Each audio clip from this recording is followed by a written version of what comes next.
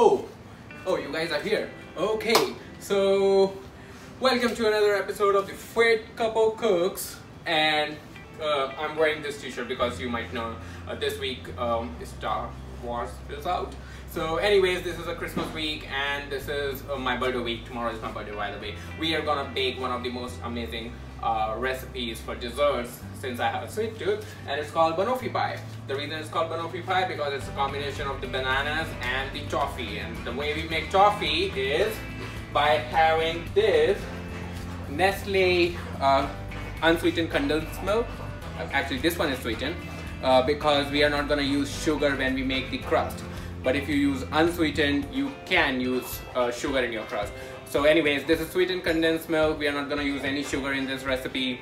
Uh, and we boiled it with the can dipped in the container for, uh, within the water, submerged in the water for roughly two and a half hours.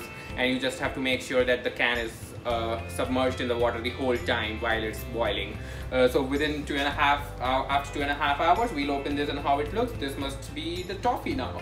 Um, rest of the ingredients, let's see. So I have a 9 inch pie here, um, pie plate here that we are gonna bake into. I have one stick of butter along with one, this is roughly 16 uh, ounce, so it's like one cup uh, whipping cream, uh, three bananas, uh, well ripened.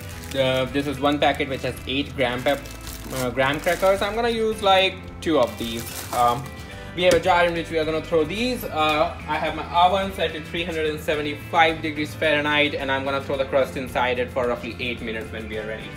So let's start cooking this amazing recipe.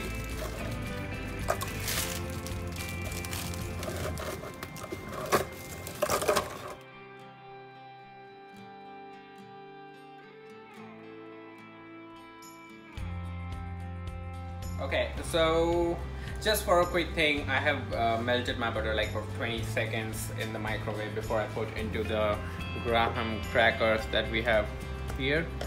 So we're gonna throw this in here.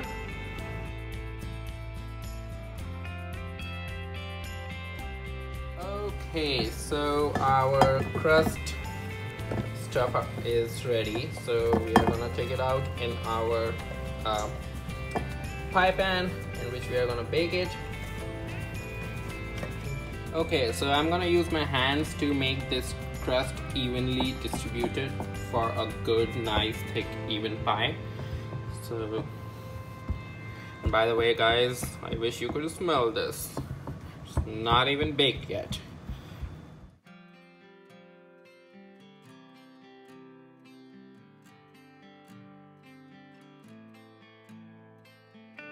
Okay, so time for our three ripened bananas while our uh, pie is in the oven for 8 minutes. So I'm gonna just mash them bananas, these bananas using the fork. No fancy stuff going on here.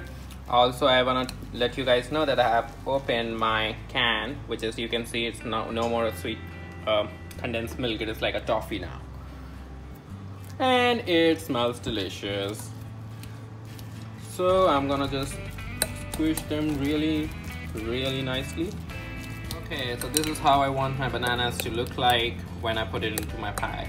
So this is all good. There's still little pieces, so I don't want to squish them anymore. Um, that's it. Hakuna Matata! Needless to say, that means goodbye, but we are, I'm not saying goodbye. Anyways, the pie is out, and I just wanted to say those words. I remember Timon and Pumbaa. Um, so I'm gonna pour this banana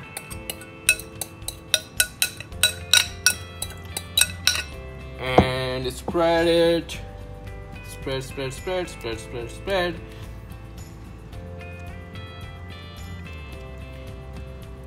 By the way i have let the pie cool for like five to seven minutes. Um, it wasn't that hot though uh, but still.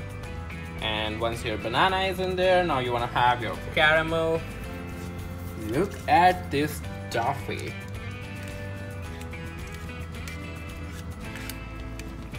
sorry guys. My oh yeah. Look at all this stuff.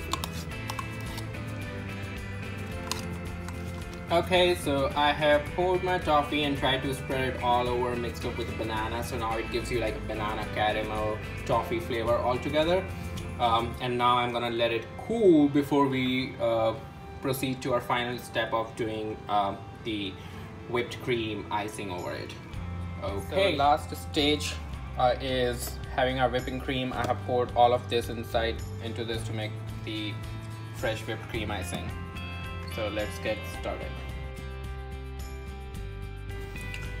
Okay. So this is fresh whipped cream. It's very airy. It's very light. Make sure you don't over whip it but otherwise it, start forming like a white butter.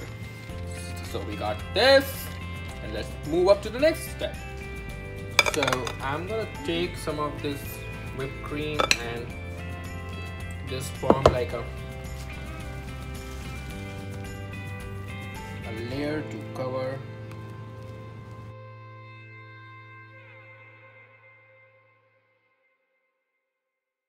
Okay, so final step. So we have our white icing over here. I have made some turquoise color icing over here and I select whatever uh, design you want to make on your pie and just go with it.